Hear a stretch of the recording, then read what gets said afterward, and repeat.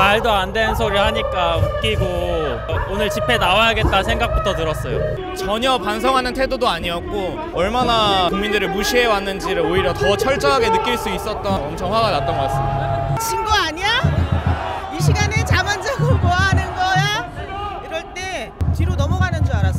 엉터리죠. 어떻게 그런 사람이 대통령 됐는지 정말 한심하고 처참할 따름입니다. 변명만 늘어놓는 것 같아서 되게 별로였어요. 제가 웬만하면 차마 보려고 했거든요. 차마 더 이상 눈 뜨고 볼 수가 없구나. 그래서 일단 광장으로 나가보자. 그래서 이렇게 봤어요. 앞에 있는 게 다 국민이라고 생각하면 그렇게 할 수 없잖아요. 아이들 때문에 사실은 너무 무서워요. 진짜 너무 무섭고 나와서 목소리를 못 해야 될 것 같아요.